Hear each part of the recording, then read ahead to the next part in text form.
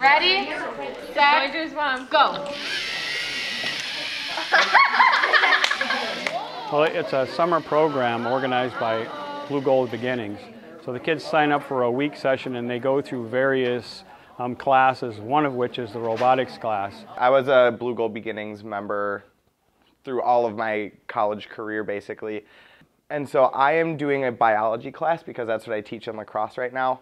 And you're going to design a moth to blend in with the room, but we're going to learn about why we're doing that first before we actually do it. Today we're moving into natural selection and then we're going to study peppered moths and they're going to um, design their own peppered moth to try and kind of blend in with the room.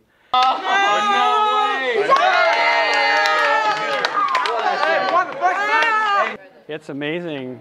Um, you give a little fifth grader a robot and show them just a little bit and they just go to town. We want to build an early foundation. We want to let the boys and the girls, you know, experience this at a young age in a fun environment.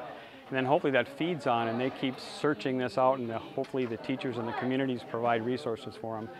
Yeah, you were. I think you're on the right track. Yeah. I think this is the most important program we have on campus because it's helping not only the students who may eventually become Blugolds, but the students who are currently Blue Golds. I think that's just so incredibly important to have that on campus. Yeah, we need to partner together to, you know, create an educational environment in which everybody benefits from that.